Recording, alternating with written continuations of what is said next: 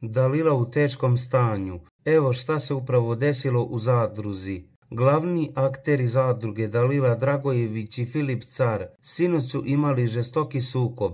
U toku svađe Dalila je čak i povredila nogu, pa su joj pružili pomoć. Posle maratonske svađe usledio je raskid. Filip je pitao Dalilu da li mogu da se raziđu, što je ona smatrala ucenjivanjem, pa ga je oterala iz paba. Car je izleteo kao furija iz paba, a ona je ostala da sedi sama i neutešna. Legla je na kauč i počela da plače. Gušila se u suzama i jecala na sav glas. Bila je u očaju, ali se car nije vraćao da je uteši.